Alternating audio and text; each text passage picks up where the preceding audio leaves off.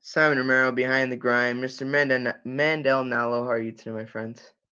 Good, thank you, Simon. So I have two for you here. Um, I just want to know how impactful has Coach Firas Zahabi been throughout your career? Yeah, huge impact. I mean, uh, as far as MMA coaches go, he's he's the. I mean, coach and fighter, you need to have a good synergy. Um, and as far as I'm concerned, we're a great fit together. And he's really kind of opened my eyes to the way you should think about fighting.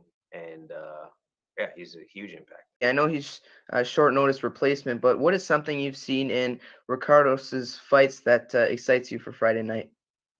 Uh, just the fact that he's a he's a guy that doesn't really like decisions, so he's a guy that's gonna try to make something happen, which is always fun.